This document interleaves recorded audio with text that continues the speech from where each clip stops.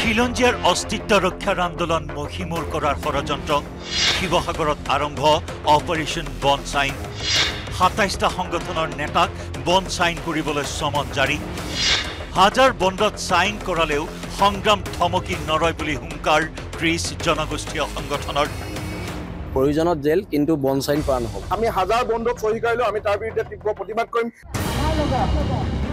আটাছুৰ সভাপতি বসন্ত গগৈ বীৰ লাচিত সেনাৰ নেতা শৃংখল চলিহা জাতীয় সংগ্ৰামী নেতা অসমৰ সভাপতি চিতু বৰুৱা অনুসূচিত জাতি ছাত্ৰ সন্থাৰ সম্পাদক পৰকজ্যোতি দাস অসমীয়া মহিলা মঞ্চৰ সভানেত্ৰী পাপৰি ফুকন কৈৱৰ্ত ছাত্ৰ সন্থাৰ সভাপতি ৰবি কাশ্যপকে ধৰি মুঠ সাতাইছ সংগঠনৰ নেতাক বন চাইন কৰাবলৈ বাধ্য কৰোৱা হৈছে। বীৰ লাচিত সেনাৰ নেতা শৃংখল চলিহাই বন্ধ চাইন নকৰোঁ বুলি জনাই দিছে। লাগিলে জেল যাম কিন্তু বন্ধ চাইন নকৰোঁ বুলি হুংকাৰ শৃংখলৰ। কোনো কাৰণতে বন চাইনত স্বাক্ষৰ নকৰোঁ কালি আমি সামাজিক মাধ্যম যোগেদি এইটো কথা স্পষ্ট কৰি দিছোঁ। প্ৰয়োজনত জেল কিন্তু বন চাইন কৰা নহ'ব। এইটো একদম স্পষ্ট কথা কালি আৰক্ষী প্ৰশাসনকো মই কৈ দিছোঁ। বহিৰাগতৰ বিৰুদ্ধে ঊনৈছ আগষ্টৰ আন্দোলন সমাপ্ত হৈছিল মন্ত্ৰী ৰণোজ পেগু শিৱসাগৰ জিলা আয়ুক্ত আৰু এছ পিৰ উপস্থিতিত।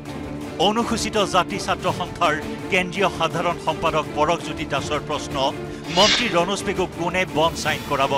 শিৱসাগৰৰ জিলা আয়ুক্তক কোনে বন চাইন কৰাব? শিৱসাগৰ জিলাৰ এছ পিক কোনে বন চাইন কৰাব? জিলা আয়ুক্তগৰাকীক বনচাইন কোনে কৰাব? আমাৰ প্ৰশ্ন হ'ল জিলাৰ আৰক্ষী অধীক্ষকগৰাকীক বনচাইন কোনে কৰাব? আমাৰ প্ৰশ্ন হ'ল মন্ত্ৰী ৰণোজ পেগুক বনচাইন কোনে কৰাব? সমগ্ৰ বিষয়বস্তুটো দেখাই গৈছে যে ইয়াত ক'ৰবাত নহয় ক'ৰবাত কোনোবা নহয় কোনোবাই আচলতে তৃতীয় পক্ষই যে হস্তক্ষেপ কৰিছে সেই কথাটো স্পষ্ট হৈ পৰিছে। ইপিনে আটাছুৰ সভাপতি বসন্ত গগৈৰ হুংকাৰ কোনো বণ্ডত চাইন কৰাই আমাৰ প্ৰতিবাদী কণ্ঠ ৰোধ কৰিব নোৱাৰে। উজনি অসমৰ খিলঞ্জীয়াৰ অস্তিত্ব ৰক্ষাৰ সংগ্ৰাম জোৰদাৰভাৱে চলিব। এই সংগ্ৰাম খিলঞ্জীয়া আৰু অখিলঞ্জীয়াৰ মাজত বুলি উল্লেখ কৰি বসন্ত গগৈয়ে কয় যে এই আন্দোলনৰ বাবে উজনি অসমত আইন শৃংখলাজনিত পৰিস্থিতি হোৱাই নাই। কোনো ধৰণৰ এনেকুৱা বন চাইন কৰাই আমাৰ প্ৰতিবাদী কণ্ঠ ৰোধ কৰিব নোৱাৰে। উজনি অসমৰ খিলঞ্জীয়াৰ অস্তিত্ব ৰক্ষাৰ যিখন সংগ্ৰাম সেই সংগ্ৰামখন অৱধাৰিতভাৱে চলিব আৰু জোৰদাৰভাৱে চলিব। উল্লেখযোগ্য যে বন চাইন কৰিলে সংগঠনৰ নেতাসকলে প্ৰতিবাদ কৰিলেই হ'ব গ্ৰেপ্তাৰ উত্তেজনাপূৰ্ণ বা উচতনিমূলক ভাষণ দিলেই কৰিব গ্ৰেপ্তাৰ প্ৰৰোচনামূলক মন্তব্য কৰিলেই হ'ব গ্ৰেপ্তাৰ। গ্ৰেপ্তাৰ হোৱাৰ লগতে ভৰিব লাগিব জৰিমনা। আন্দোলন নকৰাৰ উত্তেজনাপূৰ্ণ মন্তব্য নকৰোঁ বুলি বন চাইন কৰি দিব লাগিব প্ৰতিশ্ৰুতি। প্ৰশাসনৰ এনে ষড়যন্ত্ৰৰ বিৰুদ্ধে হুংকাৰ দি অসমীয়া যুৱ মঞ্চৰ জিলা সম্পাদক বিষ্ণু শইকীয়াই কয় বহিৰাগতই অসমীয়াক ৰঙা চকু দেখুৱাব আৰু আমি বহি থাকিম নেকি? শিৱসাগৰৰ মাজমজিয়াত বাংলাদেশী আহি বহিব আমি বহি থাকিম নেকি? যদি খিলঞ্জীয়াৰ ওপৰত আক্ৰমণ হয় অসমীয়া মহিলা বোৱাৰী নিৰ্যাতিত হয় তেতিয়া হাজাৰ বণ্ডত চহী কৰিলেও বহি নাথাকোঁ বুলি হুংকাৰ। আমি হাজাৰ বন্ধত চহী কৰিলেও যেতিয়াই কোনোবাই যদি অসমীয়া জাতিটোক আক্ৰমণ কৰে কোনোবা অসমীয়া বোৱাৰীক যদি কোনোবাই ঘৰখন কৰে অসমীয়া জাতিটোক যদি কোনোবাই ৰঙা চকু দেখে তেতিয়া কিন্তু আমি হাত সাৱটি বহি নাই আমি হাজাৰ বন্ধত চহী কৰিলেও আমি তাৰ বিৰুদ্ধে তীব্ৰ প্ৰতিবাদ কৰিম। অসমীয়া যুৱ মঞ্চৰ ৰিদীপ দত্ত আৰু আটাছুৰ শিৱসাগৰ জিলাৰ যুটীয়া সম্পাদক পাৰ্থ গগৈয়ে অপাৰেশ্যন বন চাইনক ত্ৰিছ সংগঠনৰ কণ্ঠ ৰুদ্ধ কৰাৰ ষড়যন্ত্ৰ আখ্যা দিছে। অনা অসমীয়াৰ বিৰুদ্ধে মাত মতাৰ কাৰণে জিলা প্ৰশাসনৰ ফালৰ পৰা বন্ধ কৰাৰ এক ব্যৱস্থা গ্ৰহণ কৰিছে যিটো সঁচাকৈ গৰিহণাৰ যোগ্য। আমি অসমীয়া যুৱ মঞ্চই তীব্ৰ ভাষাৰে গৰিহণা দিছো। তেওঁলোকে ক'ৰবাত ভাবে নেকি যে এনেকে চেপা প্ৰয়োগ কৰি আচলতে কণ্ঠ ৰুদ্ধ কৰাৰ কিবা কৌশল অৱলম্বন কৰিছে নেকি এই কথাটো যে ইয়াত মানে প্ৰশ্ন আহিছে। আমি এটা কথা স্পষ্ট ভাষাৰে কৈছোঁ এনেধৰণৰ খিলঞ্জীয়া অস্তিত্ব ৰক্ষাৰ কাৰণে যি সংগ্ৰাম এই সংগ্ৰাম কোনো কাৰণতে স্থিমিত নহয়। সাতাইছ সংগঠনৰ নেতাই শিৱসাগৰৰ কাৰ্যবাহী দণ্ডাধীশ নেকিব ছৈয়দ বৰাৰ ওচৰত হাজিৰ হ'ব লাগিব। ইতিমধ্যে বিছজনৰো অধিক নেতাই আইনৰ প্ৰতি সন্মান জনাই বন্ধ চাইন কৰিছে।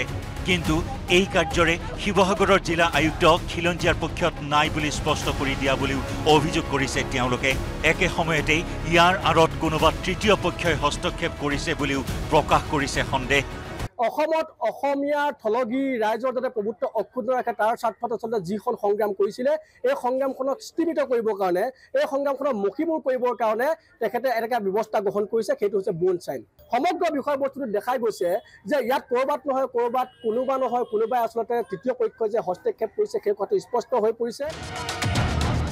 উল্লেখযোগ্য যে শিৱসাগৰত এগৰাকী খিলঞ্জীয়া যুৱতী খেলুৱৈক বহিৰাগত লোকে মাৰপিট কৰাক লৈ ঊনৈছ আগষ্টত শিৱসাগৰত হৈছিল বিশাল প্ৰতিবাদী আন্দোলন।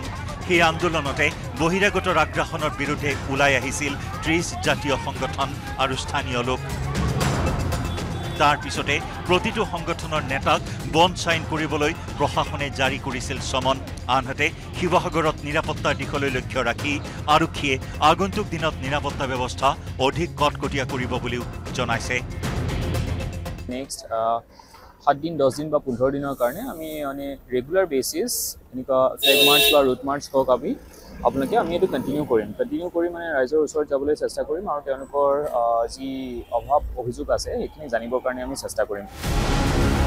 লক্ষণীয় হ'ব ঊনৈছ আগষ্টত আৰম্ভ হোৱা এই নতুন সংগ্ৰামে চৰকাৰ আৰক্ষীৰ বাধা ওপৰাই সঁচাকৈ খিলঞ্জীয়াৰ অস্তিত্ব সুৰক্ষিত কৰিব পাৰিবনে নাই? ঊনৈছ আগষ্টত উত্থাপন কৰা দাবীসমূহ চৰকাৰে মানি ল'বনে নাই? সেয়াও হ'ব লক্ষণীয়। শিৱসাগৰৰ পৰা Pradip Gogoi report news eighteen Assam north east